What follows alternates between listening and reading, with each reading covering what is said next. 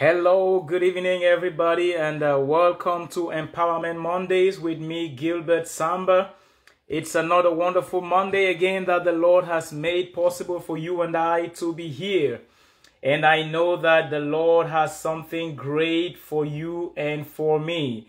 I want to welcome you on board wherever you may be watching from. Uh, hello to you already, our constant uh, number one viewer uh, to be present. Chupe Eves, welcome on board and welcome to everyone. It's a beautiful day and we are about to dive into another subject today, women in ministry. Welcome on board. Let's get started and get rolling from this end. It's 5 p.m. in Dallas, Texas. Good to have you all. Empowerment Mondays is here again. He's a way maker. Making a way where there seems to be no way as you hop in, just begin to share that video and invite somebody to be a part of this broadcast today. It's going to bless them in a mighty way. Hallelujah. Let me go ahead and start inviting everybody I can invite today. I worship you. Yes, Lord. I worship you. Mm. You are here working in this place. Yes, you are, Lord. I worship you. It's a beautiful month of November. God has been gracious. You are here God has been awesome. moving in on me. He has carried us from January. This is November. One more, and we are out of this year into a greater thing the Lord is about to do. Hallelujah. working in this place. Yes, Lord. We have a great woman of God today to talk with us. You will be blessed. Promise keeper, light in the darkness. My God, that is who you were. We are receiving a beautiful piece from Sinach all the way from Lagos, Nigeria. The song that has gone all over the world, making rounds in different languages and blessing people from, all nations. This is a masterpiece. An incredible woman, highly anointed by the Lord. It's Empowerment Mondays, and I welcome everyone on board. Glad to have you watching from wherever you're watching. I am inviting as many friends as I possibly can. The women are taking the stage for the next four weeks. Hallelujah. The women are taking the stage and they are going to be telling us some very important things. We are in for a great time. I'm inviting everybody today. Hallelujah. I'm just inviting as many people as I can. You are here, mending every heart. I worship you. I worship you. My God. Waymaker, miracle worker, promise keeper, light in the darkness. My God, that is who you are. Oh, yes. Do you know that is how big our God is? He is a waymaker, mighty God. A promise keeper is He. Woo! Glory to Jesus. Oh my goodness. I just have to thank everybody. Welcome on board, Mama Amel. Oh my goodness. Welcome on board to everyone that is watching at this time. Let me check who else is there. Uh, if I'm not able to see your comment, I may not be able to recognize or identify who is watching. But it's good to have you all watching right now. I am so thrilled. Let's just give a couple of moments for this song to die down, and then we are going to start our topic of discussion today. Apostle Ransom, all the way from Buea. Good to have you, man of God. I'm sure you know our guest of today, Pastor Anita. You you are a very good friend to the brother Bishop Balinga. I'm sure you should know Pastor Anita. Hallelujah. We are in for a great time today.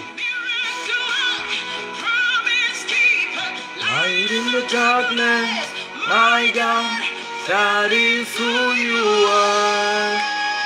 Good to have you all watching from wherever you're watching right now. It's a beautiful thing to know you're out there watching. We worship the Lord for making it possible for us to be again together today.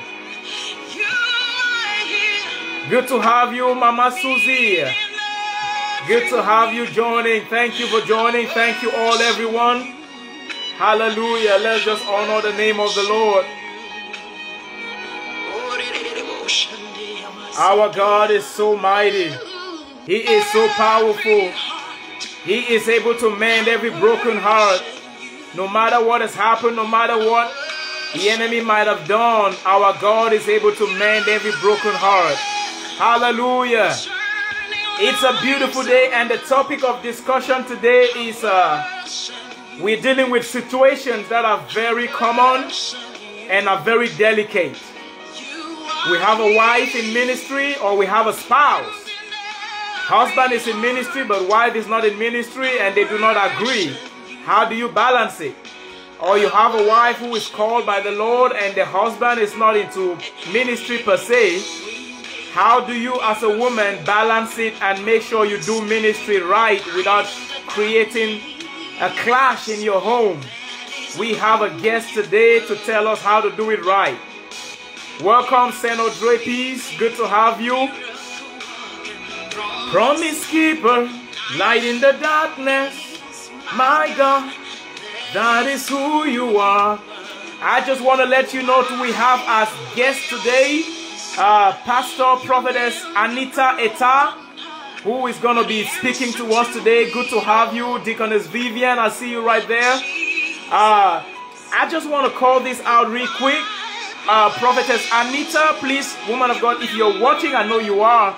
Just type a comment.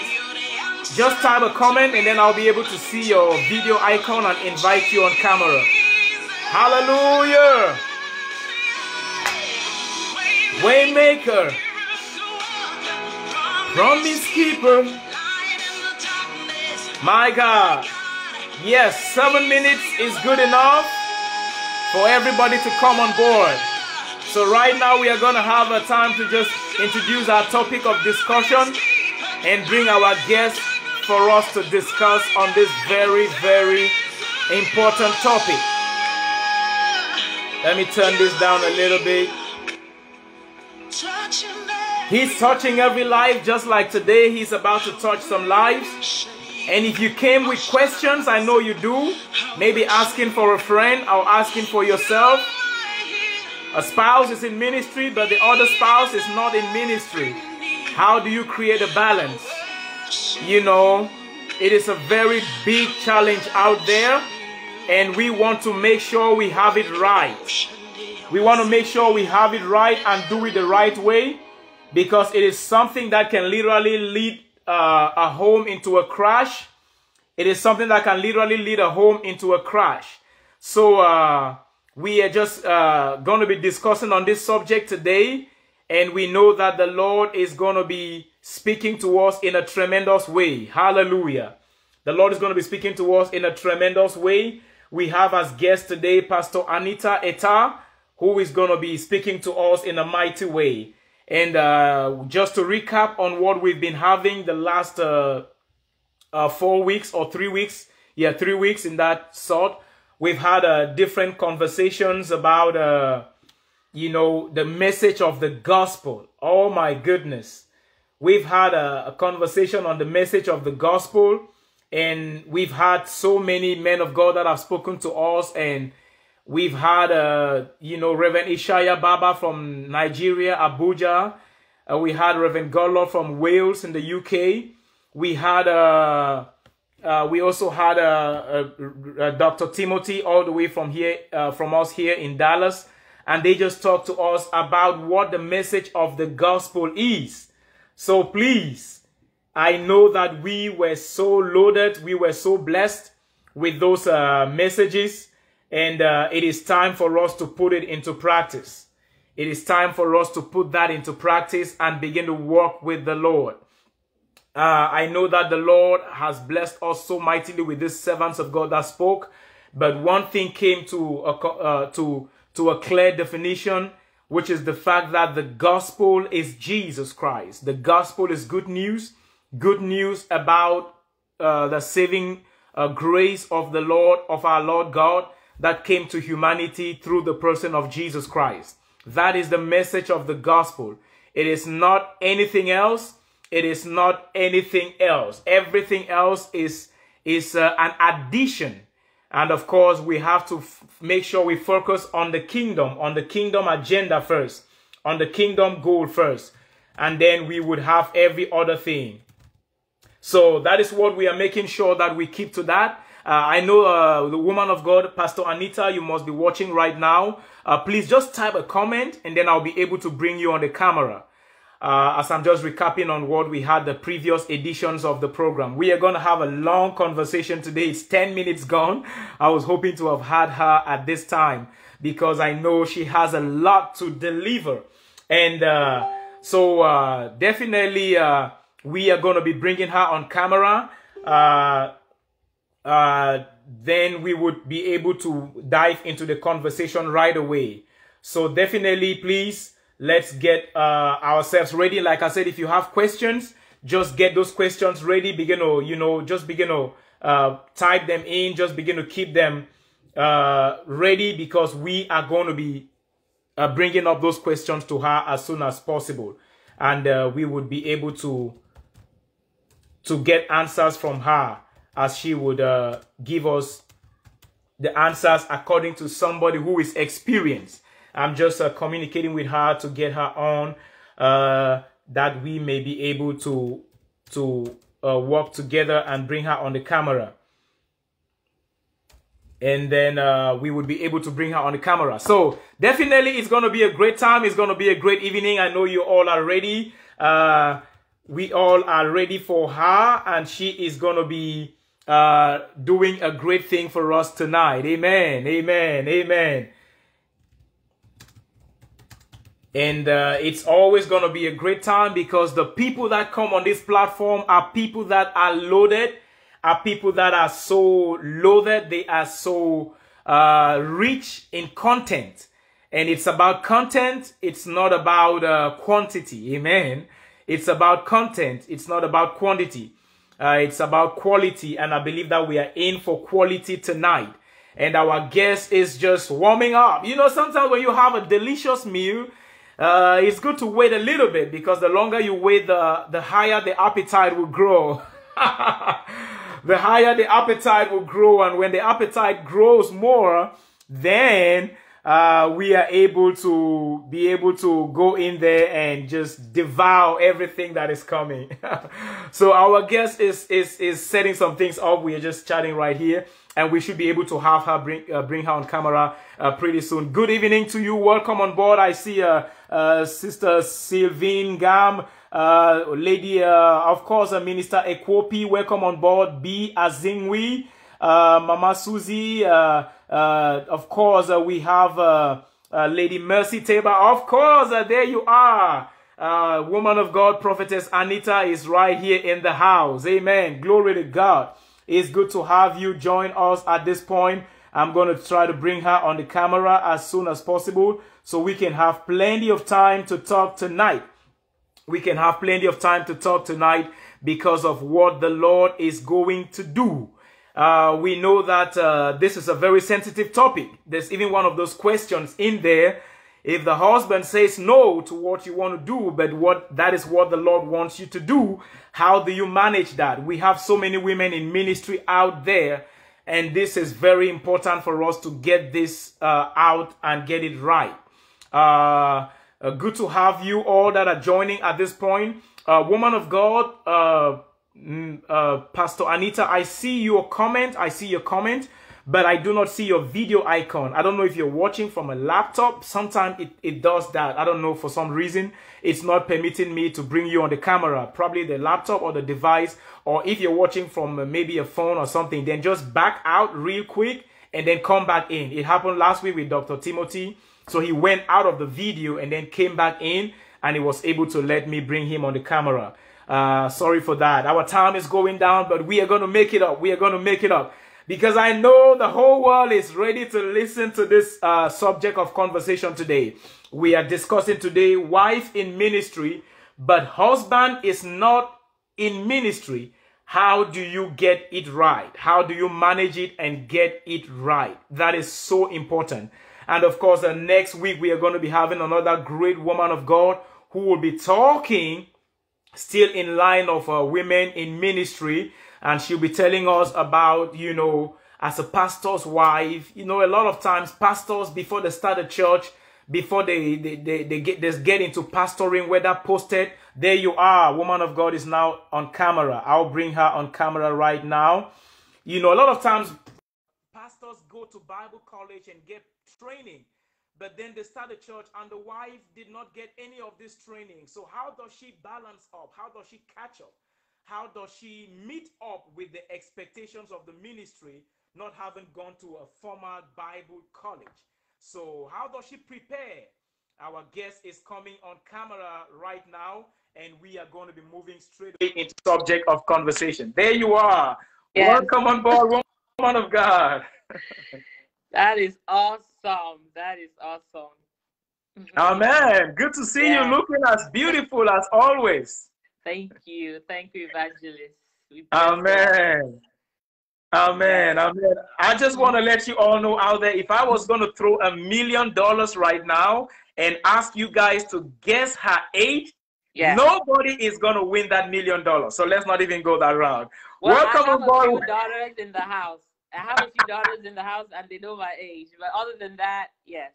All right, amen. That grace upon you is really amazing. Amen. Just amen. to let us know, for those who know, this is the uh, elder sister of Bishop Victor Balinga. It's a great name in Cameroon, and so those of you watching, you know. Uh, welcome on board, woman of God. Good to have you. you. What is what is it like at your corner today? Well, I'm in Indiana right now. I, most people watching are going to be surprised because I live in Dallas, but I am in, in Indiana for some business, and the weather, as you know, is colder than Dallas. So it's a little starting to, the winter chills are slowly starting to usher in. All right, all right, okay. So please stay warm out there in Indiana. Ah, we just want to know, first of all, to know a little bit about you. Tell us uh, about uh, you know yourself in light with uh, how did you get your call into ministry and what mm-hmm. ministry exactly are you doing for the Lord? Amen. Amen. Well, Amen. first of all, let me just thank you so much for inviting me on this program today. I just want to honor you and your wife. Um, I bless a lot for you guys for what you're doing. Um, talking about who I am, what I do in ministry. Well, my name is Anita. I am born Balinga. That's my maiden name. and my married name is Etta. So I am Mrs. Etta. I always say that I am a Manyu wife. Manyu, Amen. yes. Yes. So, yes, yes, yes. I'm proud of my people. So anyway, um, I was born into a Christian family, not just a Christian family, but a pastoral family. So my late father was a bishop. My mother is a pastor. So I grew up in the church. Um, I was introduced to the Lord from a very, very young age. And I started um, getting involved in formal ministry, first of all, through the music ministry. So the Lord enlisted me into the worship ministry. And many people first knew me as a gospel recording artist. I did that for a number of years. And then the Lord hmm. called me into other aspects of ministry, which um, led to my ordination a few years back. So, in terms of the type of work that I do now in ministry, um, I was ordained into the, the fivefold office. I function mainly in the office of the prophet. But as you know, you know, the Holy Spirit, once you carry the Holy Spirit and you're growing under the leadership of the Holy Spirit, I believe that any of us called into any of the fivefold offices, you will begin to manifest. You will manifest an apostolic grace. You will manifest an evangelistic. You will manifest a pastoral, you know, teaching grace and so forth. But yes, so that is what I do in ministry right now. Um, our ministry is called Anita Etta Ministries, but under that we have the T2 Mentor Academy, which is the branch of the ministry that mentors um, people in ministry, um, predominantly women. We are focused for that aspect of the ministry is mainly women. We have Athena Music Foundation, which is the part that still takes care of the music aspect of what I do, supporting young gospel artists coming up, eh, growing them in, in music, worship ministry. Um, and there's a number of other things we do in ministry, such as the homeless. Some of you may have seen on our Facebook pages. We have homeless ministry, we have orphans and widows ministry, and so forth. So I'll leave it at that. But I love oh. to teach. What I do a lot of these days is really teaching because I believe that the body of Christ is spiritually deficient. yeah so many things. And so I believe that we really need to teach above all else in this dispensation. Oh, wow. That's awesome. Thank you for that wonderful uh, introduction, telling us a little bit more about you. And then we come into all this called into the ministry, Anita Etta ministry, doing teaching, doing, uh, you know, music, and all these calls that, you know, the Lord has called upon you. The question I want to ask it is, uh, is it possible for the Lord to call a spouse, a wife, into the ministry, into this public ministry, and not call the husband? You know, in other words, is it is it is it ever possible? And maybe you prove you show us a few examples, maybe biblical or in our society, where the woman is called into mm-hmm. the public ministry and the man is kind of a background. Is it is that possible? Is that something that is even possible with the Lord to do? Or yes. if the Lord has to call, he calls both. He, mm-hmm. just let us know if it is possible. I will start off by saying yes, but I'm going to end up saying no. so okay. let me explain why I say that. Okay. Um, I will start off by saying yes, God can call a woman into ministry and not necessarily call the husband. So, for example, we have Huldah, prophet, prophetess Huldah in the Bible is a good example. Um, um, we, we even have a prophetess Anna who prayed and ushered in the birth of Christ. The Bible refers to her as the prophetess Anna, but simply refers to her husband.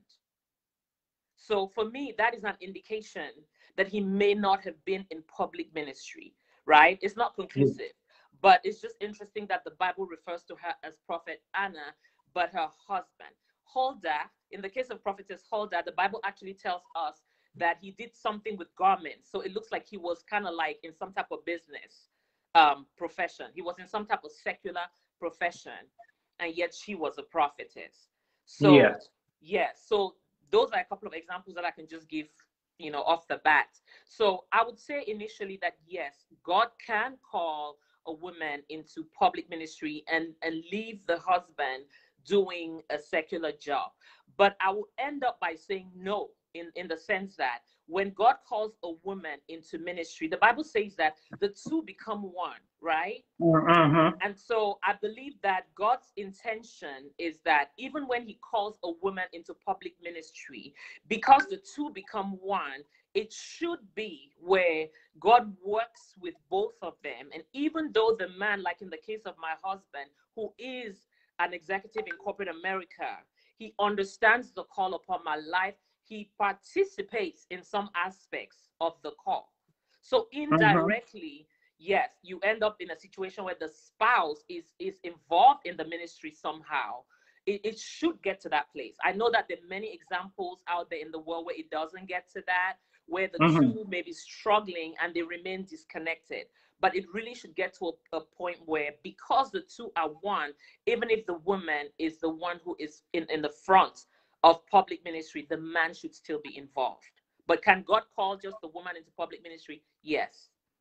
Wow, wow! Thank you for that, and uh, and I think this is a wake up call to somebody out there, uh, maybe a woman or a man, you know, who may be sitting because this I, I have called it a wife is in, into ministry. I think a better way would have been a spouse so we could yes. balance it. It could be the other way, the man or the woman. Mm-hmm. But in, case you're thinking, you know, this thing that the Lord has called me, my wife is not really standing by me. She is more of a secular. I wanted a woman that will really stand by me. So you're letting us know tonight that it is possible that the mm-hmm. Lord could call you to be in that public place and the spouse yes. is more of a reserve and background kind of person. That is a possibility. Yes, it is a possibility. Yes. We even have women, other women such as Deborah, right? The wife yes. of Lapidoth. Yes. We have Jael. Mm. Those are examples in the Bible that, you know, God the Bible shows us that God used them powerfully in ministry, but we don't mm-hmm. see their mm-hmm. husbands doing ministry. Yes, yes. Yeah. So right now, I've given four examples, right? We have Anna, yes. we have Huldah, we have Jael, we have Deborah. And I'm sure if we search some more, we will find others in the Bible. Perfectly, definitely, yes. definitely. All right. But we Thank even you look for... at Esther.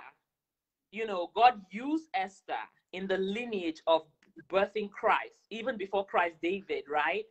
Yes. But we look at Boaz. Boaz was a businessman. Yes, that's talking yes. about Ruth, right? Mm-hmm. Yes. Mm-hmm. Uh, sorry, Ruth. Sorry, Ruth, not Esther. Yes. Sorry. Yes. Uh-huh. Yes. But as a matter of fact, Esther is another example. Mm-hmm. Esther is yes. even a more powerful example of what yes. we're talking about because yes. Esther's ministry was to save the children of Israel, right? Mm-hmm. From destruction in a particular time. But she was married to an ungodly king. She was married to an unbeliever, actually. So you even get situations such as those. So in my case, for example, my husband is a believer. He loves the Lord. He understands what, what he's doing and why he's supporting me. But if we take the case of Esther, she was married to King Xerxes, who did not even really know the Lord. Yes. But Esther's example is a successful example of how a woman can be in public ministry. God can use her to do mighty things for the kingdom and she has an unbelieving husband who even ends up backing the ministry mm-hmm. that she was doing. Which that is why my answer to you was initially yes, but in the end I would say no, because mm. you see that because Esther was married to King Xerxes, God ends up putting in King Xerxes' heart to support the things that were in Esther's um, heart. Exactly. That were to, to, to help accomplish her ministry. Yes. So we all, all right. end up as Esther. Where yes. even though we may start with just the woman being in ministry, I, I believe that it is in the plan of God that the husband will come along, even if he is not saved. Okay, all right. We are going to touch on that part of saved and not saved because that's a whole subject on its own. yeah. uh, the biggest challenge with uh, women, uh, well, uh, this is just an example from what I know, from what I mm-hmm. gather is managing the three the three assignments. You have right. kids, you have the husband, and you have the call. How do you, as a woman, call into ministry? How do you manage the kids, the husband, and the call? well, first of all, I would say that it is by the grace of God because there's nothing. We all know anybody who's listening to this broadcast, if you're saved, you know that it is not by might, not by power, right? But by the Spirit, says the Lord. So, first of all, we have to be submitted to the guidance of the Holy Spirit because if we're not, then it can be very demanding, it can be very confusing, it can even be very chaotic. Amen. Hmm. But if you're submitted to the Holy Spirit, I, I'm here to say that it can actually become easy because there is an order, right? The order of God is always God first, right? Yes. So we will love the Lord our God first before our fellow human beings. So it is God that we love first. So we put God ahead of everything. Now, we need to understand that ministry is different to God. Doing ministry hmm. does not necessarily mean that you are ministering to God. You can be doing hmm. ministry and not minister to God. You get Throw more light on that. So, as women in ministry, we have to be able to understand the difference, right? And so mm. when it comes to the hierarchy within the family, let me also start by saying that the family is our first ministry. So when mm. you put God first, the second place in that hierarchy becomes my family.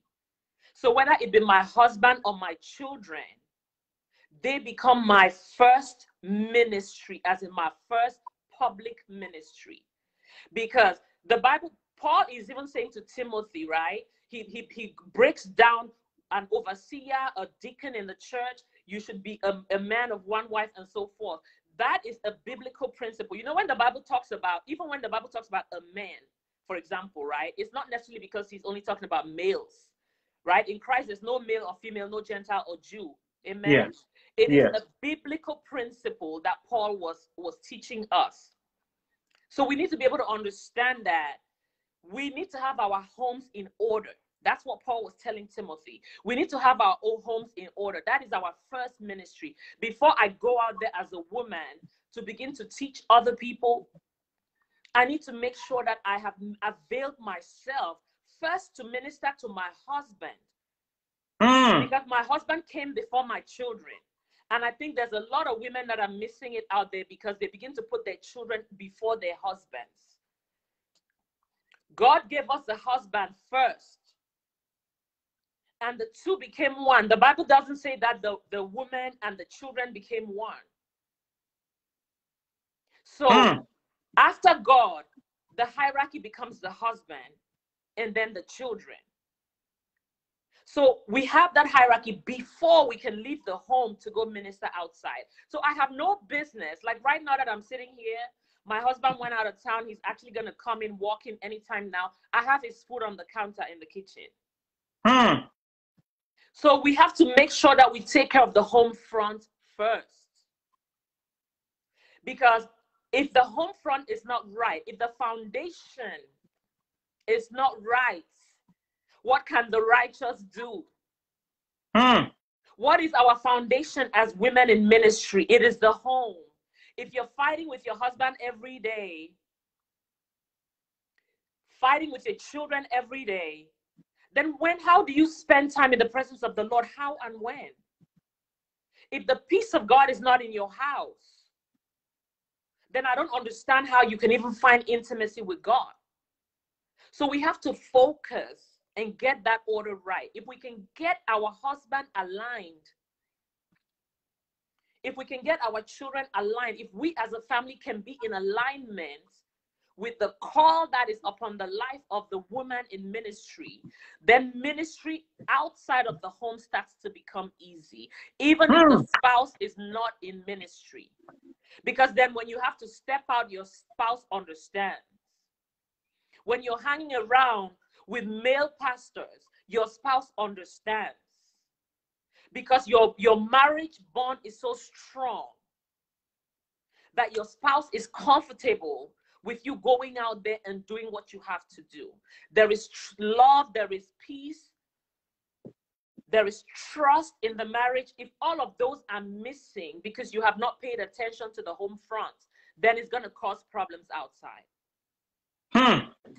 Wow, my goodness, you just opened a whole can of worms, and I, I, I could barely get everything down. But this is so powerful that I need to summarize this for for just somebody who maybe is just getting in right now. The question was, how do you manage a home? You know, as a woman in ministry, the children, the the husband, and the ministry.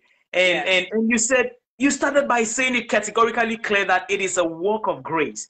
It is not something that any man should boast of. It comes by God's grace. And I think that's important for everybody to know that it's not going to be by your ability. You must trust God's grace to be able to do this.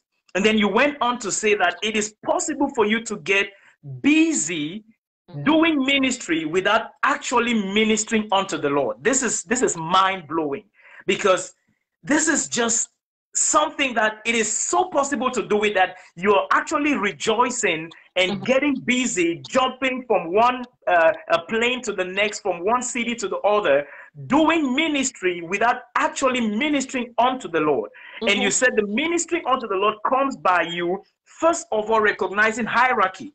And you said the hierarchy is in this order god first husband or family and then the ministry.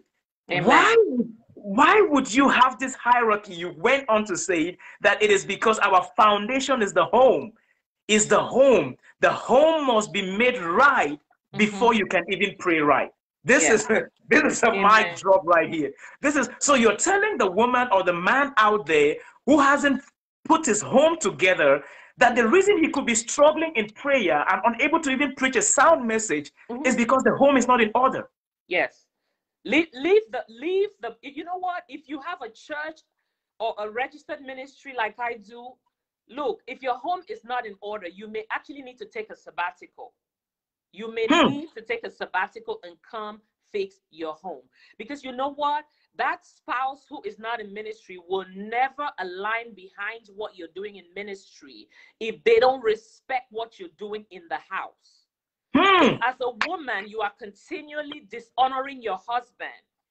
As a matter of fact, if your husband who is not in ministry does not see you ministering unto the Lord, if he doesn't see you in your prayer closet, if he doesn't see your strength of character, when Hmm. something upsets you in the house, you immediately start to quarrel and you swear words and you know you are you are aggressive, you are unforgiving, you're paying back people. If your husband is watching you do those things, if he's watching the way you treat his mother and his sisters, and you're fighting with your in-laws all the time, then Hmm. you pick up a Bible and you want to go preach, trust me, your husband will not stand behind the public ministry that you were doing. He has to be able to respect you as a wife and mother within the family unit. He has to have watched you go through challenging situations and seen your Christian character. And then he will honor and respect what is upon your life. And then he will stand behind you when you have to go out and do. Because what you go out to do is simply you replicating what you have already successfully done in the family.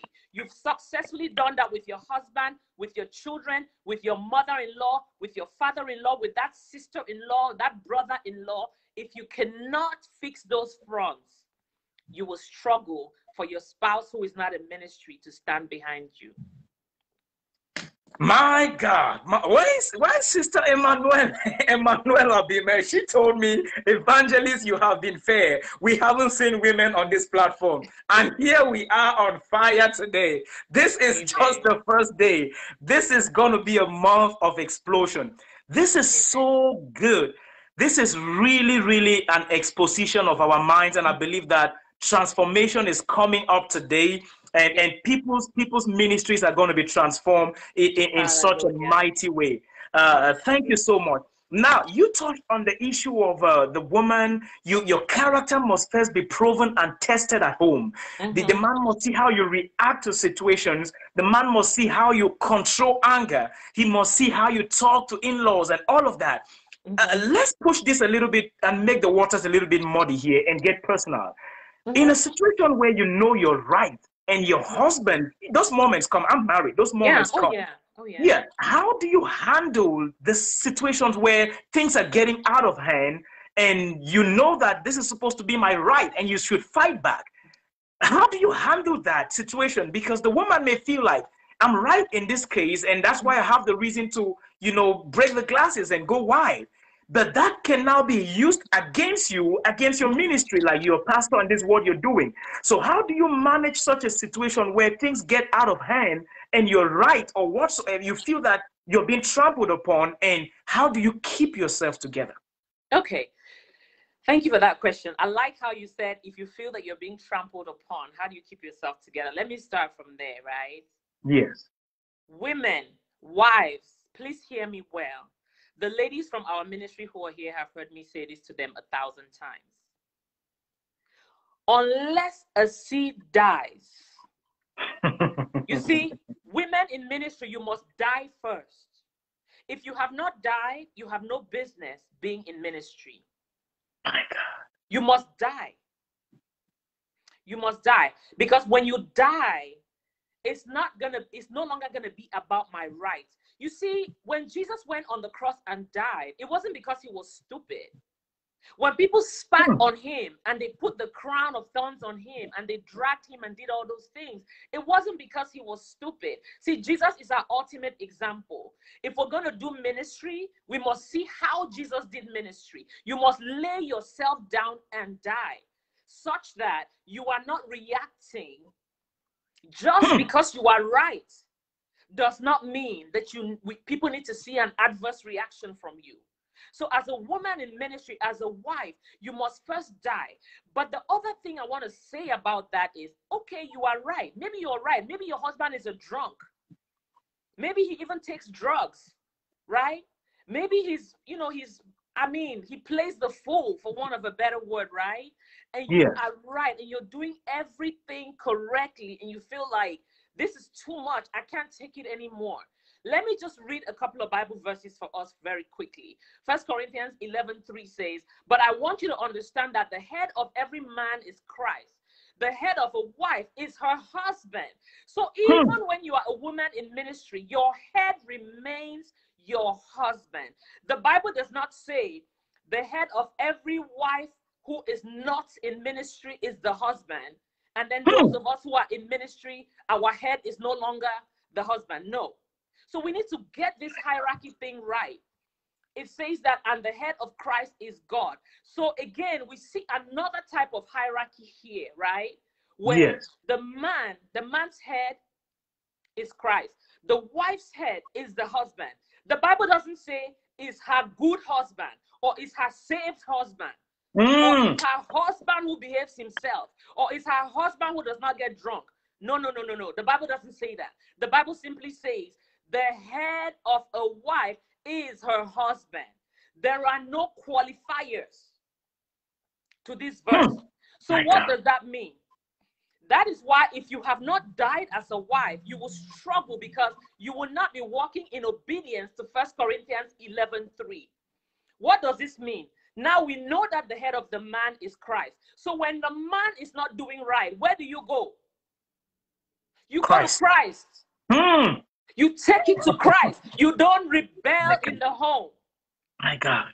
You don't disrupt the order that God has put because you see, people of God, we must first be obedient to the word of God, and then God is going to begin to fight our battles. So if you have already messed up the hierarchy that God gave you by dishonoring your husband simply because he is not in ministry, then, then it becomes difficult for God to back you. So you take it to the husband's head, who is Christ. The Bible says the head of every man, meaning every type of man, even a madman on the street, his hmm. head is Christ. My so, God. woman of God, listening to me, even if you think your husband is crazy, his head is Christ. You report him to his head. In other words, you go on your knees. You get into Hmm. prayer and fasting. Every time your husband does something that you don't agree with, regardless of how frustrating it gets, you get on your knees. You talk to his head. You tell Jesus. Mm. So, women in ministry, if your husband is not in ministry, or wo- worse yet, he's not even saved, you're going to have to learn how to become his primary intercessor. Mm. I said that your first ministry was your home. So let me even take us to the book of Genesis. A woman is a helper of the man. So if you are in ministry and that man is misbehaving, you need to help him. How do you Mm. help him? Not by answering him back, not by dishonoring him. You help him by becoming his key intercessor. So you start to intercede day and night for that man. You will intercede until his head chooses to do something about his behavior. Amen. Wow. Wow. Wow. My God. This is good. Dallas, USA, churches, wherever you are. This is a speaker right here. This is a speaker. I don't know if, if you guys are hearing what I'm hearing. This is good. We were asking the question, and, and the comments are just mind blowing. The things I'm hearing. Hopefully, we'll get time to take those comments. And and you know, the question was, how do you handle a situation where you're being trampled upon as a woman, and because you had earlier said you must not react, you know, you must not, you know, speak back. And then we said, but what about where you feel like this is your right? You know, you were on the right, and you deserve a right to talk back, and because you were you were right, so you responded by saying that ministry the, the key to successful ministry i think that's what reverend song just reiterated there. The key Oh, to successful ministry reverend jesse song he said the key to successful ministry is for you to die. Yes. the word die i underlined it three times. You must die you must for die. you to be able to succeed in ministry. Mhm. and you say when you truly die you are no longer reactive. That is the evidence of the evidence that you're dead is your inability to react you know if you're still reacting then probably you fainted You or something. Mhm. yes you're not Yes. dead but the, the bible says unless a seed falls to the ground which you quoted and dies Dies. it's not just the falling to the ground it must also die so Mhm. that's what you brought out categorically clear. The seed must fall to the ground and die. So you said the woman must die for her to be able to do ministry successfully. And then secondly, she must remember, according to you quoted First Corinthians there, uh, 3, that the, the head of the woman is the man. And the hierarchy, according to how, how the Bible says, the head of the woman is the man, and the head of the man is Christ. Yes. So if you feel that you're being treated wrongly as a wife, then go to the head of the husband and report him to him. That is to Christ. Go to the head of the husband and report. So you go to a higher hierarchy and mm-hmm. report the, the person who is doing wrong to you. So the way to treat to, to, to respond to it is not for you to talk back and make the house unbearable, is to go to the head of the man who is Christ and report to him that your subject is misbehaving and Christ will take care of him. That's that is right. so powerful. And then you ended by saying that you must be the primary intercessor for your man. This is mind blowing because we can get busy with running three hours every Friday night. We can get busy with running, uh, flying out of state to go organize a revival, three days revival in California or in New Mexico. But we have not spent time to intercede for the man. Our right. primary all night must be for the man as a woman in ministry. That is so powerful. Thank you so much for that. And uh, I wanted to just recap that really quick. Now, let's push it further a little bit in a situation where, you know, the Bible says, having done all to stand, therefore stand yeah. So you've done all of this, and it just turns out that things are not moving right. You've done everything, and you're still having a challenge, you know. So, how then do you manage a spouse who, you know, number one, you know, does not agree with your calling into ministry? You you've been a, you've been a submissive wife. Mm-hmm. You've you you you've we've you've done the right things that you're supposed to do, but he just he just looks at this your ministry thing as a clown and doesn't agree with you as a minister. That's the that's the part A of it, and then I'll bring the part B. How do you manage a situation where your husband doesn't believe in your call to ministry?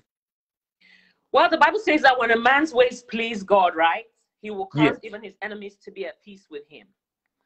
So it goes back to the woman has to to focus on pleasing god you have to look see sometimes marriage is the the, the processing chamber that kills the flesh of you the woman who is in ministry so sometimes if god has not if you're praying and god hmm. has not changed that man and the man is not supporting your ministry frankly speaking, you have to go back to God and talk to God because sometimes it could be that there are things about you that God is still wanting to kill, that he's hmm. still wanting to break, that he's still wanting to process. Because when a man's ways please God, he will curse even his enemies, much less your husband, to be at peace with you.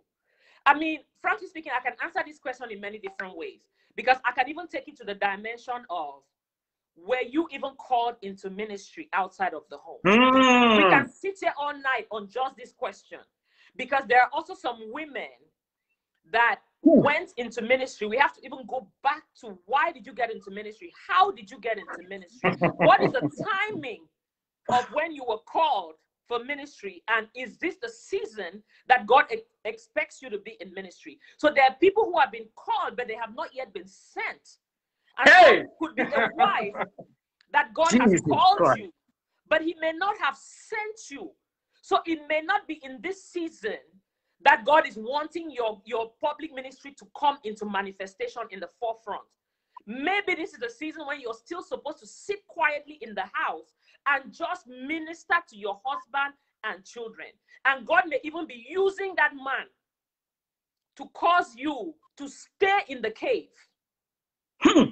My God. So these are these things are very we have that's why I started off by saying that you have to, if you're a woman in ministry, you and the Holy Spirit have to be, as we say in French, colle colle, because these are things that you have to be so sensitive to what the Holy Spirit is saying about your situation and why that particular in why your particular situation is like that.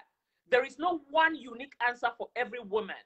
Mm-hmm. I can sit here and give prescriptions, But I know that my situation is not exactly like every other woman who is in ministry and their spouse is not in ministry. You get what I'm saying? So Mhm, every mhm. woman needs to go back. In, you have to go back to your secret place and say, God, show me. Am I even supposed to be going public? Let me share my own story. When I was a, a new wife, I was my husband met me doing ministry. At, at the point that my husband married me, first of all, he knew that I came from a family that was heavily in ministry. At the point that he married me, I already had been involved in, I believe, one album recording, one gospel music album recording. I, Mhm. we, used to travel and sing and do stuff. He already knew that I was in ministry. So people's cases are different. Some people get saved and get and then they answer the call while they are already married, right? In my case, it was Mhm. before I was married. So my husband kind of knew already that I was in ministry. But even with that, I I moved from the UK to the USA. So I left the ministry that I was doing in the UK and came to the USA to get married. I stayed home for some years without doing public music ministry. Hmm. I focused on my marriage for the first few years. Hmm. And then I had my son, and we began to raise our son together. And then we had my daughter. Those who have followed my music ministry through the years can attest to the fact that there were very few times where you saw me travel. Anyone who is here who has known me and followed my ministry for years, you know what I'm talking about. You hardly saw me travel for ministry. You see, every married woman in ministry needs to go before God and say, Father God, give me wisdom for my particular situation, with my particular husband, with my particular circumstances of my and my children. God, what should I do in this season? Like I said, I cannot stand here and give one prescription to every woman in ministry. For me, I sought the Lord and I stayed home. I only went out to minister in song when it when it was com, com it, it, it worked with my my husband and my children and my family circumstances. So it was Mm. not disruptive to my family. I did that in my early years. It allowed my husband to begin to also understand more about who I was in ministry, what I represented. It allowed even the Lord to begin to talk to my husband and show him more about my calling. And I Hmm. can stand here and say, I honor my husband because I remember when I when we recorded my first um, gospel music video for the song. If you go on YouTube, my song called Ajon. My husband came. As a matter of fact, the first recording that we did in the studio was poor. My husband took took it, listened to it. He said, "No, no, this is not good. We need to find someone that can help you do the bass better." My husband was the one who connected us to Andre Manga, the legendary Cameroonian uh, bassist. Mhm, mhm, Yes. We, my husband came with me. We ha- we did a meet, meeting with Andre. I still remember in a hotel in Anaheim, California. He talked to Andre about how what we would like to see. He paid the money. Hmm. Now, if I had just jumped into marriage and the very next day I was running out to go sing here, sing there, sing there, Hmm. if I did not allow time for my husband and I, you see, when you want to, when you even want God to do something for you, you have to worship God. The Bible says that deep calleth unto deep. Even with God, when you want something from God, when you want God to bless you and back you up, what do we do? We worship Him. We spend time with Him. We stay in the secret place. We connect with God in intimacy. After we have done that, it becomes easy for, for us to begin to receive things from God. Marriage is the same. Marriage is a mystery of the relationship between Christ and the church. Hmm. So if you want your husband to back you and support you, if he doesn't see, understand your call, focus on intimacy with your husband. Build your relationship with your husband first. We do that with Christ, don't we? Yes, we do. When you spend time with the Lord, He blesses you. He shows you the secret things. He gives you gifts and blessings that He doesn't give other people. We Hmm. saw men of God change the heart of God in the Bible. Why? Because they were men after God's heart. Yes. Abraham. Yes. People like that. Why? Because they had a strong relationship with God. Marriage is simply a reflection of the, the, the, the, the relationship between Christ and the church. So we have to approach our husbands the same way. He doesn't believe in your calling. Slow down.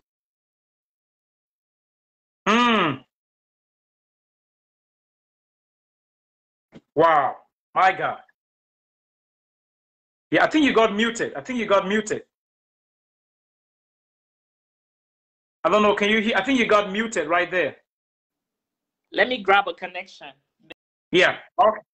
Okay. All right. Good.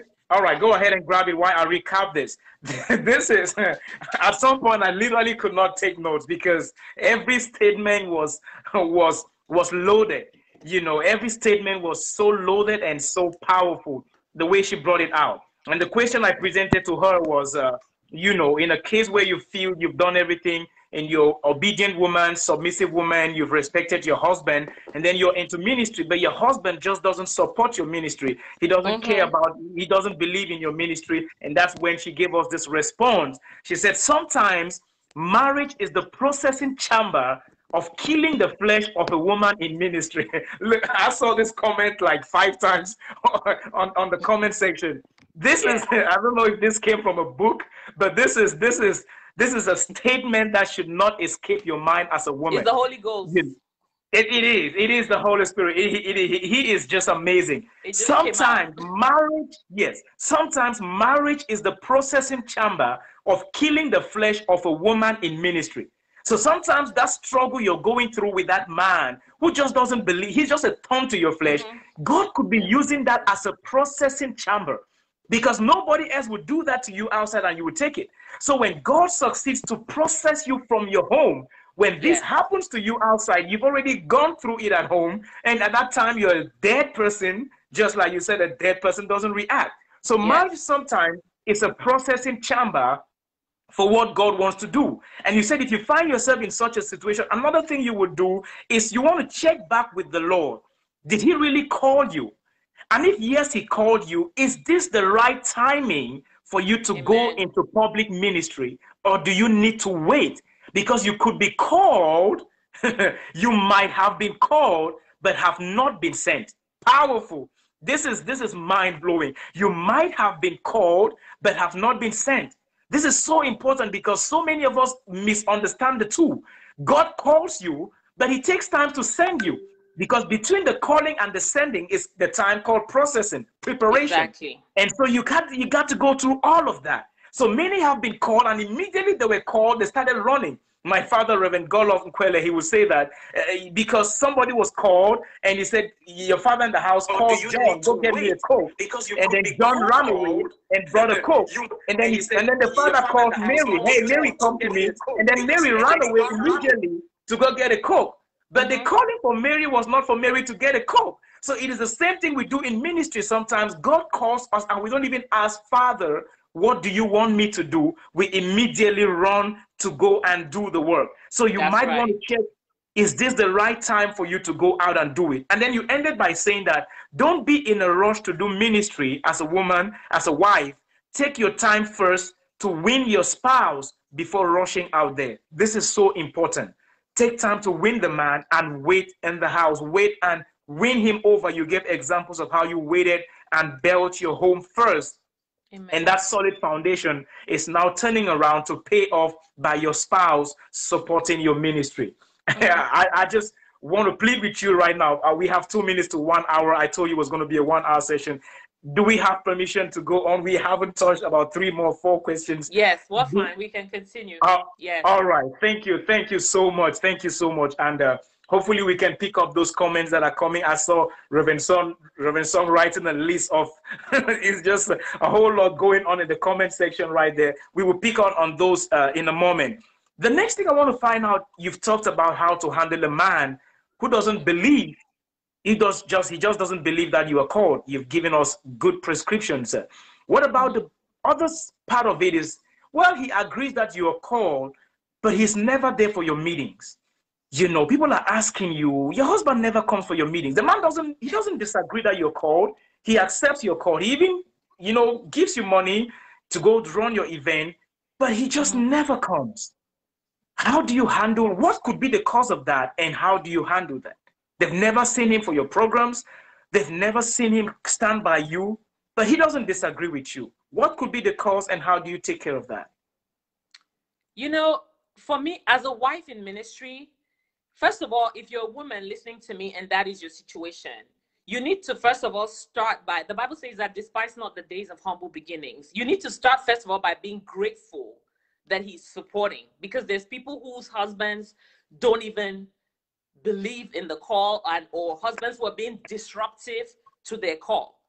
You mm. see, hmm. as as Christians, we need to get to a place where we understand that for, for, for me to have a husband who accepts that I am called, that is already the work of God right there. Now, every woman has to look at her unique situation, right? It's just like amongst us women, we always say one one woman's husband may give her roses, another one's husband may not give her roses. The one mm-hmm. whose husband may not give roses may, may help her do the dishes. You get what I'm saying? Yeah. So it's it's all in your perspective as a wife in ministry. So you have to start with gratitude. God, I thank you that my husband understands that I am called. God, I thank you that he's supporting me in whatever ways that he is supporting me. But the third thing that I want to share to help some women out there, and in like, let me take my case in in in particular. My husband is a senior executive in corporate America the level of responsibility that he carries is not such that I can take him with me every place that I'm going to go minister. Mm. Through the years, when he's able to come with me, he comes. When he's not able, it's just like I just I just said that he's been out of he's just walking in, right? So mm-hmm. you have to understand. Remember that we the women are helpers, not the other mm. way around. Yes, yes. Even when you are a woman in ministry, you still remain your husband's helper. So hmm. I still need to be able to support my husband. I need to be able to understand that he he carries a heavy load in what he does in the corporate world. Hmm. And he needs to be able to rest. He barely has time even to rest for himself. So I now have to be understanding. And if I show him understanding for what he needs, he will also do his best when he's able to come with me to come with me. But I cannot go pick a fight mm. because he must follow me everywhere I go. Remember, in heaven, there's not going to be husband and wife anymore. God called you. You answered the call of God, first of all. Yeah. Yes, yes. So you need to defend that call, regardless of whether your husband is coming with you or not. God will ask you about whether you did what he told you to do. Other people supporting you is a bonus. Hmm. There's something my spiritual father always said to me. I remember, especially around the time of my ordination, he would always say to me that when you get in, the more you get into ministry, you're going to understand that people will even leave you. You know, all of us who run either a ministry or a church, people come, people go. Today they think you're wonderful because you bless them, you prayed for them. The next day they're gossiping about you or they've left the church because you're no longer meeting their need. Look, something I learned from my spiritual father you and God is enough for ministry. Mm. That is the first thing we, you must have in your head. You and God is all you need to start with. So your frame of mind has to begin there to say, Father God, as long as you called me, as long as you are backing me, God never sends without providing. Hallelujah. God never sends you without backing you. He, God is the one who is responsible for the resources you need, for the relationships you need in, for, for, in order for the ministry to be successful. In this day and age, we have a lot of young people in ministry who simply because their motives are wrong. When your motives are wrong, you're going to be comparing. Oh, how come this other uh, woman in ministry, she and her husband, they're always uh, preaching together, moving together, doing every mind. It's not like, no. By the way, our assignments are different. You see, if I was fighting with my husband because he doesn't come with me every time I go minister, I would not be here helping other women whose cases are like mine. Yes. You see, a woman whose husband is a pastor or an apostle or a prophet or whatever, they are called to minister to a different type of audience. Hmm. God has called me to minister to another type of audience. All of my unique circumstances are exactly what I need in order to be who God wants me to be. So we need to get comfortable with how our own circumstances are. The Apostle Paul said, I have learned to be contented in every situation. Yes. So rather than go pick a fight with your spouse, woman of God listening to me, celebrate the things that your spouse is able to do for you. My husband does amazing things for me. I will not exchange him for no one else. It's a blessing in my life. I enjoy Hallelujah. things that many women out there don't enjoy. I just don't even want to go into some of those things right now. Hmm. But he Wow. blesses me in ways that those who know my life they know. Hmm. I am a blessed woman because of my husband. Hallelujah. Yeah. Hallelujah to that. Wow. Powerful. So we should not compare. Yes, powerful. Thank you for throwing that out. You you know, you know, you just mentioned it there. Do not compare and you know, accept and be be appreciative. Thank God for the fact that He's even there. He acknowledges that you have a ministry and all of that. Uh, the the other side of it, just to stretch it a little bit, how do you respond to your followers who keep asking you, "Where is your husband?" How do you respond to the people who are asking you in the ministry, we've never seen your husband? And you know, people, people, Reverend Song said last time, people is people are always the problem. He said Yes. the problem was not David who killed Goliath, the problem was not Saul who had killed thousands. The problem was the women that started singing the song. So sometimes the people, the people are the problem. How do you respond to the people who are asking? And you know, information can start filtering and people start spreading. This thing that we never see her husband, are you sure she's really called? They don't know that the man is there sending money, renting the hall. They don't know the other details. Even if you Yeah. stand and say, My husband sends his support, he sent, but they, they just have what do you respond to those people who just how does she respond? Let me put it, how does she make the people know that the husband is really supporting, even though not present? I actually don't think that a woman in ministry owes the people an explanation for where the husband is. Let me start by saying that because the Hmm. people caused Moses not to enter the promised land. And so every woman in ministry, or not even women, even men in ministry, one of the key things that anybody in ministry needs to understand is that you cannot follow the people. Hmm. If you follow the people, you will get into trouble. You don't do things because the people want you to do things. You do things because God wants you to do things. So it goes back to the first person you are ministering to is God, not even the people. Hallelujah. We are called to minister to God first. And if God gave me these circumstances, if He allowed me to be in these circumstances, if He has blessed me within these circumstances, I am contented in this situation. Therefore, to start with, I don't feel that I owe any kind of justification for why my husband is not with me. But in my case, people know my husband because sometimes he, he comes with me.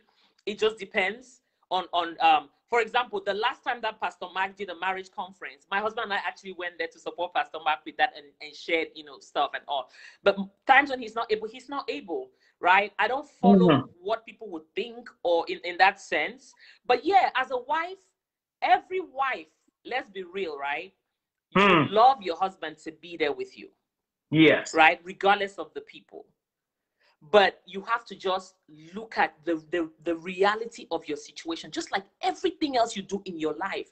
Deal with your own reality. If you don't have enough money in your house, don't buy that Mercedes.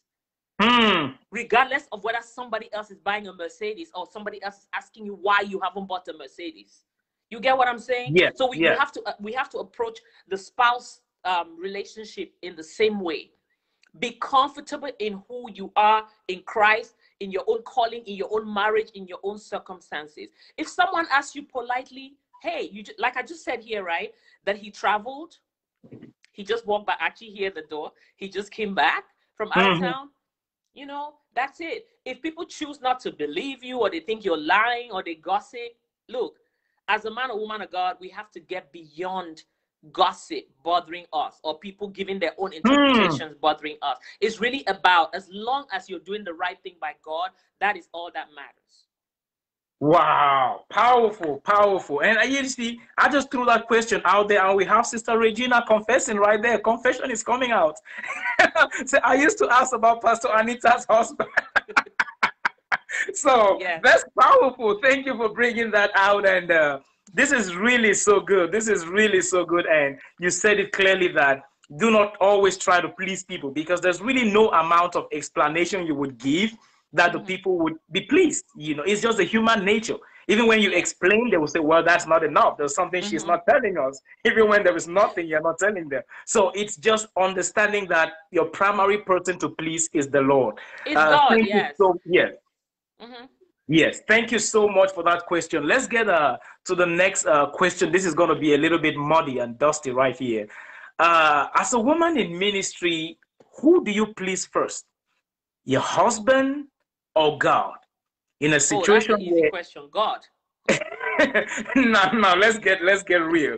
In a situation where you have a program, you have this already set up, and the mom says no, you're not going for this, and you do, you don't have to go for this. You know, I need your time, I need you here, and you explain, honey, but I told you about this. He said, well, I just changed my mind. You're not you're not going. Who do you obey in that situation? Now, when you give that example, it takes it back to what we what I explained earlier that we need to be able to differentiate God versus ministry. Hmm. Every woman in ministry must understand that choice. Are you really choosing between God and your husband, or are you choosing between ministry and your husband? If you cannot tell the difference, you will end up in muddy waters. My God, Yeah. my God. So, for example, if my husband tells me to steal, I will not steal because I'm disobeying God. Yes, yes. But if I have to go minister somewhere and he tells me that he's not comfortable with it, I can choose not to go minister because that is ministry. You see the difference? Hmm.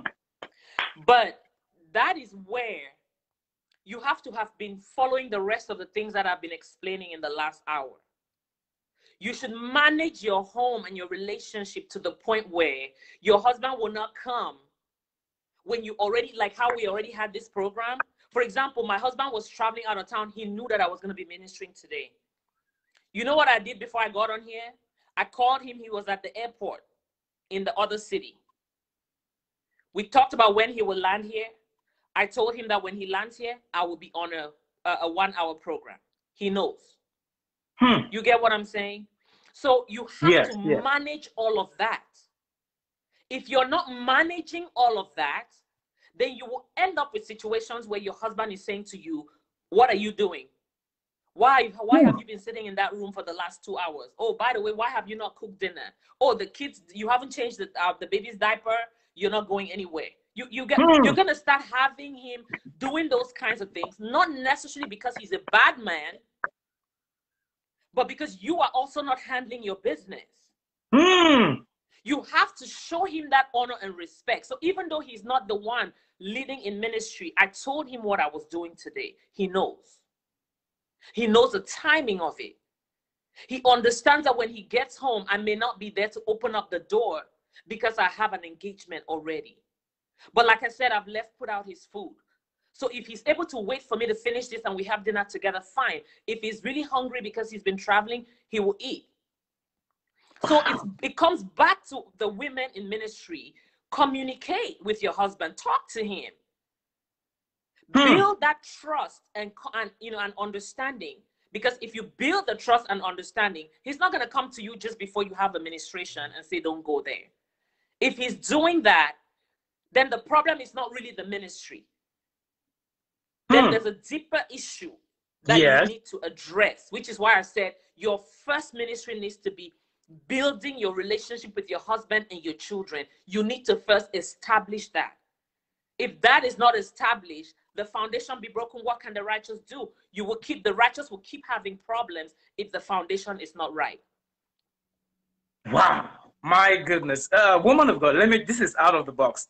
You talked about your spiritual father. Who is yours? Who is, you're so good.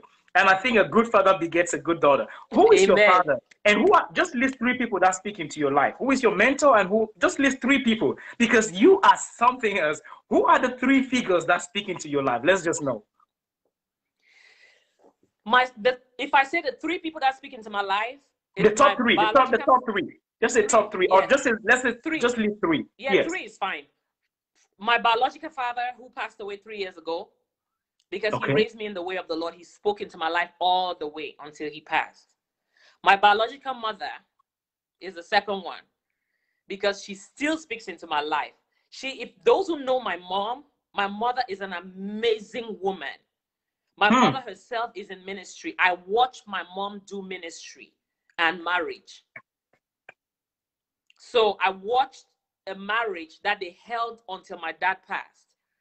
That was not just a marriage, but also a ministerial couple. So I, I learned that from my parents.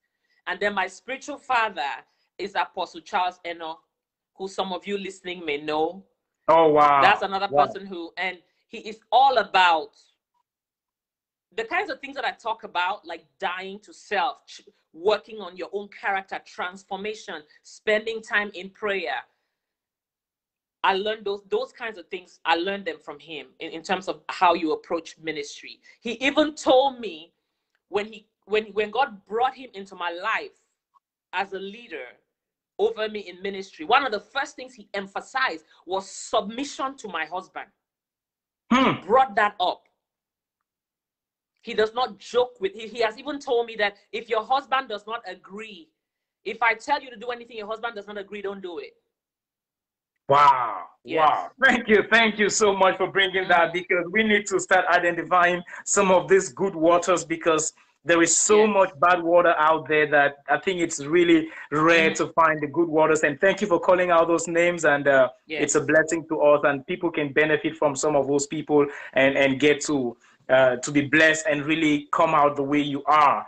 You know, this is really so good. You've been so much of a blessing to us tonight. We are just uh, gonna you know wrap up right here at this point but one last thing i want you to do is to just you know give a final word to women in ministry out there you know whose spouses may not be in ministry you've said everything already but just give a last word and also pray for us the audience who are watching at this point so that we can be become better as we do ministry Amen. I want to just leave, leave us with a Bible verse, Titus verse chapter 2, verse 3 to 5.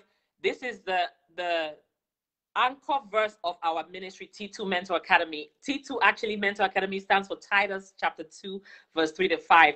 The women that I'm raising in ministry, this is the, the foundational verse that we use. Likewise, teach the older women to be reverent in the way they live, not to be slanderers or addicted to much wine, but to teach what is good. Then they can urge the younger women to love their husbands and children. You see that? To be self controlled and pure, to be busy at home. He doesn't just say busy outside the home, to be busy at home, to be kind and to be subject to their husbands. Yes, we need to be subject to our husbands so that no one will malign the word of God. I want to leave us with this last Bible verse. It is Hmm. powerful. We don't even have time to dissect all of these verses right now. But the reason why I wanted to leave us with this, our T2 Mentor Academy verse, is that it tells us that if we don't do these things, if we are not, you know, reverent, if we are not subject to our husbands, if we're not self controlled, busy at home, so if we don't take care of the home from first, it says, so that no one will malign the word of God.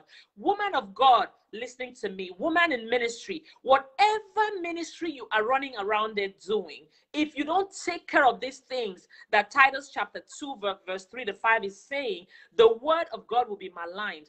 Your Mm. husband will malign the word of God. Your husband will malign the ministry. He would disregard the ministry. So it begins with you getting your own transformation. Forget about your husband, forget about his weaknesses. Focus on your own transformation. Why is God still allowing that man not to support you? What is God trying to break in you? Focus on that. When you change, God will take care of your husband. Hmm. After all, it is God's ministry. It is up to God to back that ministry, not you. You have no business going to fight your husband when you don't even own that ministry. The ministry belongs to God. God is more than capable of defending his own ministry. And if he's not defending what you think is his ministry, then that the ministry you are doing may not even be God's ministry. You may have to Hmm. examine yourself again. So, women in ministry, I want to leave you with this. You have to die. You yourself have to be transformed. A dead person does not get offended. A dead person does not even notice what people have done, what the husband has done or not done. You must die. But most of all, we are called to honor our husbands. So we must even go beyond just the dying to the point where we can begin to honor that man. Maybe you did not honor him because he was not in ministry. You felt that he doesn't know the Bible like you. Look for ways to honor him and treat him special. Hmm. Esther honored King Xerxes, even though King Xerxes was given to wine.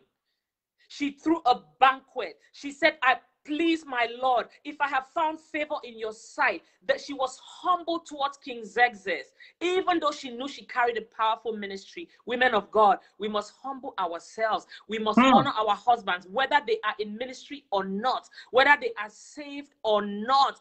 Take care of them. Take care of the home front. Take care of the sexual intimacy front. Take care of the children. Take care of his food. Take care of everything else. You must put that in order. When you put it in order, I will be surprised if he does not honor the ministry. Hmm. And if he does not, still does not honor the ministry, then some of you know I do a lot of deliverance. Then maybe there is a demon there that needs to come out. I had to Mhm. throw in a little bit of deliverance Yeah. in here. so, with that note, I will leave it at that. You need to become a prayer warrior. Pray, pray, and pray some more. Fast and pray, fast and pray. This kind cometh not but by fasting and prayer. When you're facing a challenge, woman of God, that you don't know what else to do, you've done everything, fast and pray and pray some more. Talk to God until He fixes the situation because it is not by might, nor by power, but only by the Spirit of God. It is a grace. It is only by the grace of God. If it is not the grace of God, trust me, you cannot fight that battle. Yes. You cannot. Yes. I don't have what it takes. I'll be the first to say it. I'm not perfect. I don't sit here and talk because I'm perfect. No. I sit here because God has helped me. Ask God Hmm. for wisdom. If Hmm. you're struggling, ask God for wisdom, but you must lay your life down. There's a number of my daughters in the ministry here listening. They know I tell them this all the time. When I do marriage counseling, I say, I start with you, the woman who has come to me. Regardless of what you're telling me that your husband is doing, I deal with you first. Because if we Hmm. can get you right, then we can change that home. When, God. when God called Mary, Joseph was going to put Mary out. What happened? God had to talk to Joseph to say, Don't put her out. So God will validate your ministry to your husband. It was God who told Joseph that he is using Mary to birth the Christ. God will do the same for you, woman of God. If Hmm. you're obedient, if you're humble, if you reverence your husband, God will show your husband that, look, don't give her trouble. I am the one using her, like he did with Mary, the mother of Jesus. Hmm. Hmm. Man, woman of God, please just go ahead and pray for us. Uh, pray, for, just pray as the spirit of your prophetess, and as the Lord leads you, just speak. I believe the Lord will be speaking to specific cases tonight. That's why we just cut this right here. You have, I cannot I mean, even see the way my phone is set up. I have not even been able to see any comments, so I'm just Yeah. talking. Yeah. Oh my God, you definitely see a bunch of it in there. But just pray for us and just let the Lord speak through you and just address whatever the Lord wants to speak tonight and just bless somebody. Oh Jesus, Yes, we come in your Yes, presence Lord. tonight to Yes, just Father. bless you, God. Yes, Father, we come glory. We humble ourselves at your feet, oh God. Because every time that you bring us in your presence, oh Father. Yes, we know that you touch us in ways that only you can. Oh God, we just want to thank you. We thank you for your word that has come forth tonight, oh God. Lord, we know that your word, your word is never sent forth to return void. We know, oh God, that your word that has gone forth, it will begin to accomplish the reason for which you put it in Evangelist Gilbert's heart to have this discussion today, God. Yes, Father, we know that when you died on the cross, Jesus, you had some of your daughters in mind. When you hung on that cross, you were thinking, you were thinking of Sister Regina, you were thinking of Sister Ekopi. Oh God, you were thinking of Sister B, you were thinking of even the unmarried women, God. You were thinking Mm. of all your beautiful daughters, oh God. Yes, Lord. You knew that they would need your blood. You knew, oh God, that we would need your grace to make it in this world. And so, God, we just want to bless you.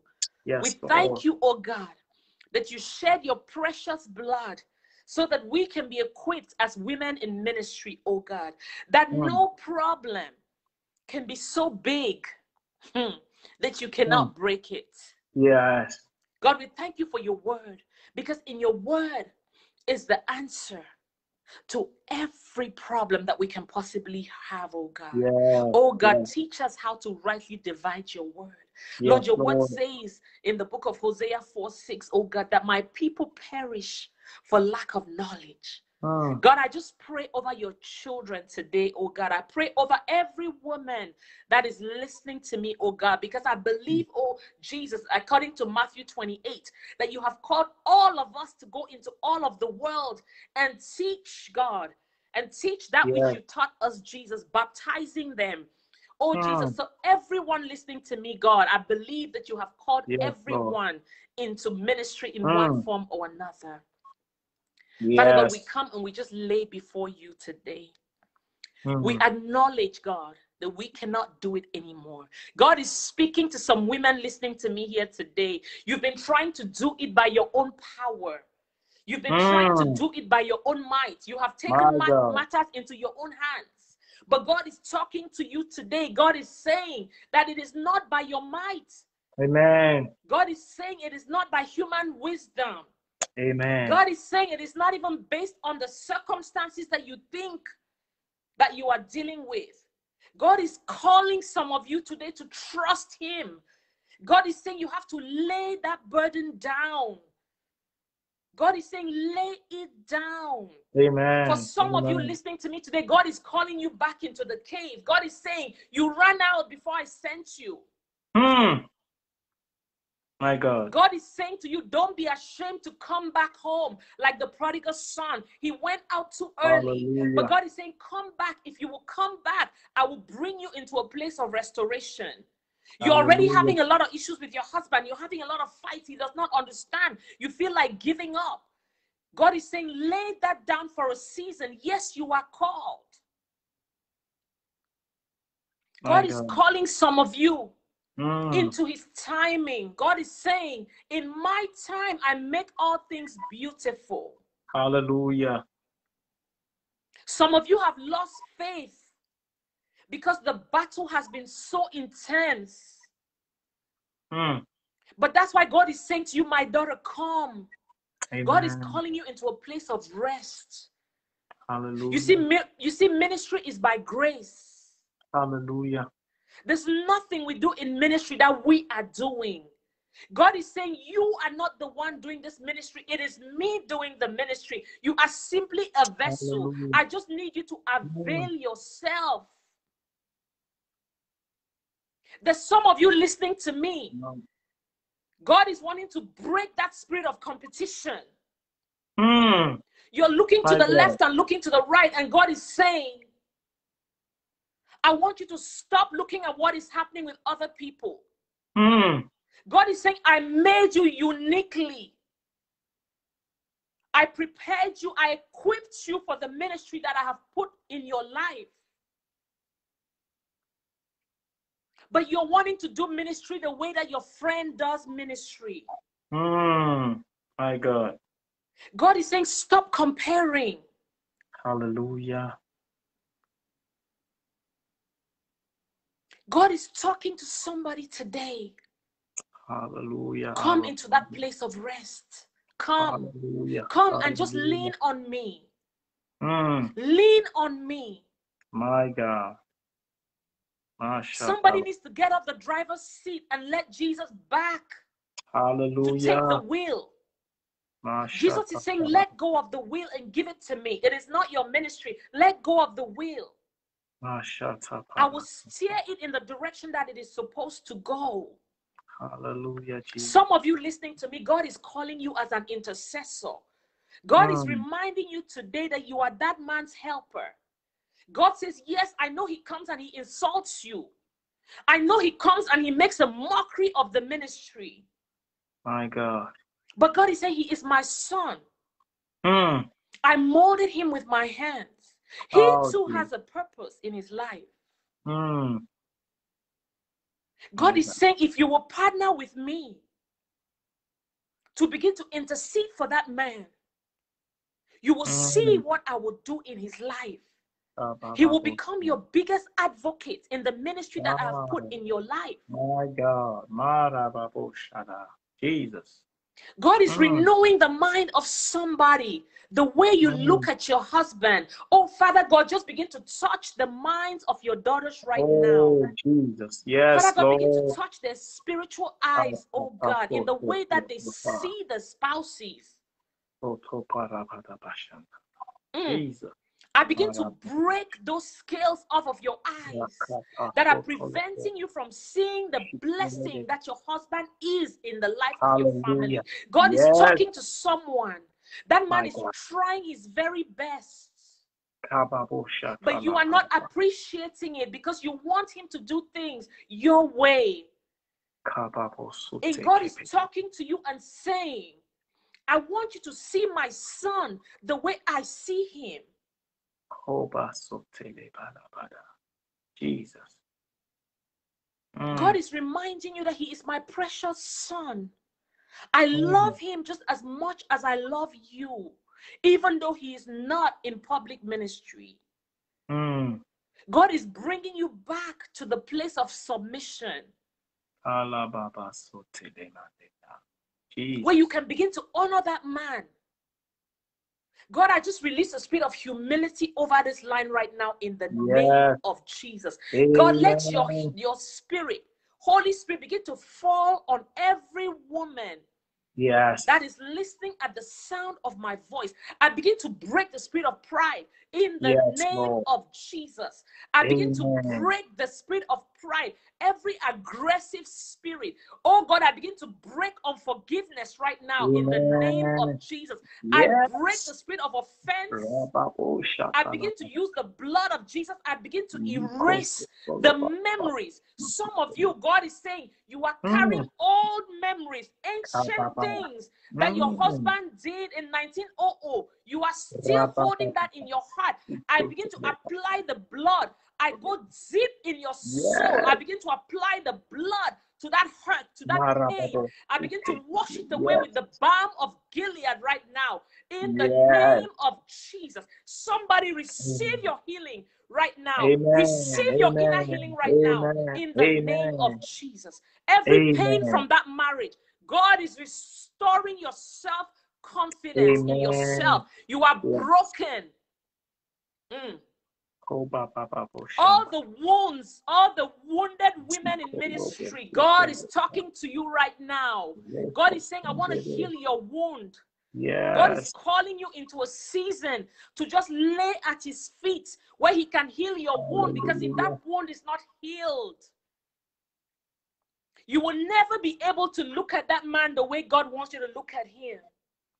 So I Oh, speak to every wound right now. I say, be Mm. healed in the name of Jesus. Amen. I send the blood, that blood that speaks better things than the blood of Abel. Amen. Oh God, every broken place. Some of you are dead on the inside because that marriage has been so tough. But Mm. God is saying it is okay. It is okay. God is saying, just trust me, let go. God is saying, let go. Let go, Hallelujah. daughter of Zion, let go. Mm. Don't worry anymore about him taking advantage. God is saying, I got you. Mm. God is saying, You may have thought I forgot about you, but I break you to transform you. Amen. God is calling his daughters home. Come to Daddy God. Amen. Come to Daddy God. I will give you what that man cannot give you. He's not your God. Hallelujah. God says, Love him anyway, Hallelujah. but he's not your God. I am your God. Look to Mm. me. I will look to the hills from whence cometh my help. My help comes from the Lord. God is saying, Turn your face to me. That man is human. Forgive Hallelujah. him. Mm. God says, Allow your husband to go through his own process. Mm. There's someone listening to me. You're already separated, but God is saying, Allow that man to go through his own process. Hallelujah. I brought you through a process. Mm. God is reminding you of where He found you, Where He picked you from, and how He cleaned you up, and how He was patient with you. Mm. And then He began to teach you who He was, about who He was, and He taught you His word. And then He called you into ministry. God is saying, allow that man, My God. allow that man to go through his own journey. God is able. God is able. God is saying, I'm your first husband. Mm. I will fix everything that is broken. I will wash away every pain and every tear. I will give you joy, beauty for ashes. I will put a spring in your step once more. Mm. I will put Hallelujah. life back in you in every dead place. Glory God. You will live again. Mm. God is saying to someone, you don't feel beautiful anymore My God. because of the things that your husband has been saying to you. But God is saying, I have come to tell you and remind you that you are fearfully and wonderfully made, and that I made you, daughter, in my image. And you Mm. are beautiful. Glory. Hallelujah, Jesus. God is saying, You are beautiful. Thank you, Father. There's a woman in ministry listening to me. You feel limited. Mm. You feel caged. You feel like you cannot fly. But God is saying, Sit at my feet. I will teach you. Jesus. Drink from the cup that is in my hand. God is saying, Drink from the cup that is in my hand. Mm. Take some time out and just drink from the cup, Ko ba ba ba ba. and I will restore you. Mm. I will restore you because you cannot pour onto others out of your wound. Mm. God wants to heal his daughters today. Amen. Oh, Father God, let your healing balm flow on this line right now. Amen. Amen. Let it begin to flow upon every woman, oh God, from the crown of the head to the sole of their feet, oh God. Yes, Lord. Yes, Father, Lord. let there be a renewing of the minds, oh God, for your daughters. I begin to pull down every stronghold of fear and of anxiety that the enemy has built in the hearts of your daughters, oh God.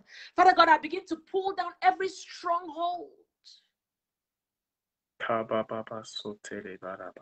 has caused them to feel that they have to fight for what you can give so seamlessly, God. Mm.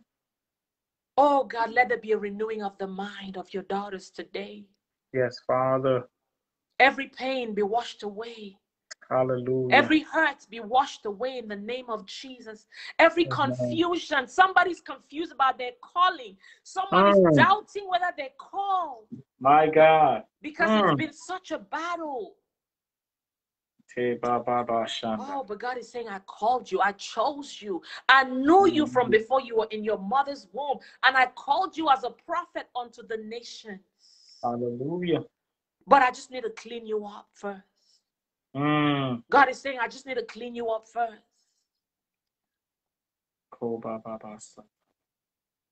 Someone listening to, to me, your husband left you, he's gone. Mm. and you feel like you're less of a woman. My But God. God is saying, I will still use you. Hallelujah. God is saying, I use Rahab. I will still use you. Hallelujah. God is washing away that stain, that stain of divorce and separation off of your life. Every time you want to minister, you remember that you are divorced. You remember that Mm. he left. Mm. God is washing away that stain right now by the blood of Jesus. Amen, Lord. Amen, Lord. God is saying, You and I together are sufficient. I will Mm. restore everything that the locust ate, that the cankerworm ate, that the palmer worm ate. Oh God, God is saying the dry bones will live again. Amen. Yes, Lord. I speak life. Amen, Lord. I speak life into every woman who's walking out there and still ministering, but you're dead on the inside. I speak Mm. life into your soul and deep into your spirit, even into your flesh. There's some of you listening to me. You're you're getting sick in your body. You're starting to get sick in your body because of the issues with that man. Mm. You're starting to deal with hypertension. Mm. You're even dealing with cancer because of the My God. stress level. Mm. My God. And God is saying, I'm bringing you into a place of rest. Kobasatarabari. Jesus. He Thank you. leads me into the paths of righteousness for his name's Mm. sake. Yes. He restores my soul. Mm. God is restoring your soul. Thank you, Father. You're listening to me and you're crying right now. God says, Let it go. Let it come out. Let it come out. Let it come out. Let Mm. it come out. Jesus. Your friends have gossiped about you. They have mocked you. But God is restoring you today. Yes, Lord. God is giving you back your worth. Mm.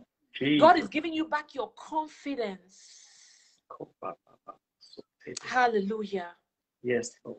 Thank you, Jesus. Thank you, Abba Father. Thank you, Jesus. Father God, I just commit every woman in Yes, ministry. I Mm. commit their husbands, oh God, right now. I bring the men before your throne of grace, oh God. Yes, Lord. God, you were the one who said that it was not good for a man to be alone. Mm. God, you are the one who said that the two have become one. Mm. God, you are the one who said that a man who does not treat the wife of his youth right, that you will not hear their prayers. Mm. God, I bring your sons before you. Amen. Wherever they are right now, Holy Mm. Spirit, we ask you to begin to touch them right now. Begin to arrest every man of Yes. every woman who is here present, who is crying, who is weeping, who is Mm. seeking your face in her situation. God, these are your sons. Yes, Father. God, these are the priests of the homes. Mm. God, I call them back into their rightful place in their homes as priests in the name Amen. of Jesus, oh God. Amen. Amen, Lord. God, let your word burn like fire upon their tongues in the name Yes. of Jesus. Let your Amen. word take root in their hearts, oh God, in the name of Jesus. Father, your word says that let every man love his wife as Christ loved the church. Mm. Father, let your love that is shed abroad in the hearts of your children, let it just begin to flow into the hearts of every husband who has not been treating their, their ministerial wife right, oh God. Yes, Father. Father, saturate their being with your love. Yes, Father. Father, let them begin to see their wives in a new way, God. Mm. From this day forward, oh Jesus, Mm. let there be love. Yes, let Lord. there be love. Let Mm. there be love in those homes in the name of Jesus. Amen. Amen. Yes, Lord. Oh, Father God. Father God, I speak restoration Yes. in every place where the marriage is bleeding, where it is broken, oh God. Mm. Let there be restoration in the name of Jesus. Amen. Amen. Father, Lord. let them fall afresh in love. Yes, Lord. Father, give your daughters and your sons the mind to honor ma- their marriage, oh God, above all else. Amen. Father, give them an understanding of the mystery of what their marriage is all about, oh God. Yes, Lord. May they understand that the marriage represents you, Jesus. Mm. Hallelujah, Lord. Father God, we need your help. Your Yes. daughters need your help. All of us need your help, oh God. Yes, We cry out to you, God, because we have no other father to go to but you. Yes.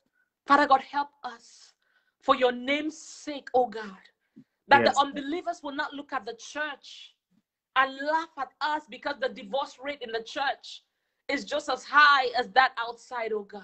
Mm. Father, keep us. God. Your word says that by your love, they would know that we are yours. Yes. Let that love take root, oh God, beginning from the homes, oh God, from this day forward. Amen. That the world will know that every woman serving you in ministry is truly yours. Amen. It is by the love that they will recognize us as yours, oh God. Yes, Father. Put your love in the hearts of your daughters for their husbands, for their children, for their homes, God. Give us a Yes. desire to love the ministry of the home, God, Mm. above public ministry. Yes, Lord. Yes, Lord. Let us cherish the home, oh God, in the same way that Mm. you cherish the home. My God. Oh God.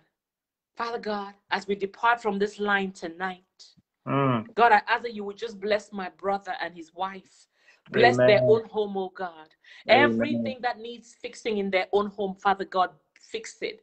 Bless them, Amen. oh God. Take them to a higher level, oh God. Strengthen them as they work together in your ministry, oh God. Amen. Strengthen their home, strengthen their children, strengthen their ministry, oh God. Father, bless this platform, Jesus, that everyone who comes to this platform will understand that Jesus alone is Lord. Amen. Father God, that whatever is done in this platform, it will Mm. exalt your name above Amen, all Lord. else. Yes, Lord. Oh God, we honor you tonight for what you have done in all of our lives because we have asked you all these things in Yes. the name of Jesus, our Lord and Savior. Amen. Amen. Amen. Amen. Amen. Amen. Wow. Thank you so much, woman of God. We are really grateful. And uh, thank uh, Daddy for us for letting you be with us all this time. We really appreciate. And have a blessed night over there. Bye bye. Thank you. God bless everybody. Everybody. Amen. Bye bye. Hallelujah. Wow. Thank you all so much. Uh, oh my goodness. Thank you all. Next week, Monday, again, we're going to be having the second woman on this platform. It's going to be 5 p.m. Central, uh, 6 p.m. Eastern. And uh, thank you all for being there today. We are so blessed. We are so blessed, woman of God. Thank you for blessing us. We saw all those wonderful comments. I am sorry I'm not able to take those right now because we've been here for a minute. Uh, we would just read those comments and benefit from those things by ourselves. There are contributions in those comments. There are, you know, emphasis. People were re- reiterating the things that were mentioned. Go through those comments and uh, be blessed. I just want to say, uh, everyone who listened tonight, you've heard the woman of God for yourself. This woman of God is so loaded. I saw Pastor Ngala Clement saying this woman is loaded. Yes, she is. I, I want to. I, I would. I mean, you heard her for yourself. but this is this is a woman that needs to go everywhere. This is a woman that needs to bless churches. I mean, pastors, whoever is on this platform, women in ministry. This is a guest speaker right here. This is a woman that is loaded, and we have many more coming. Uh, we hope that you will be blessed and. Uh, uh, God bless you all and thank you for being with us. And next week, Monday, again, is another time. Bye bye and God bless you.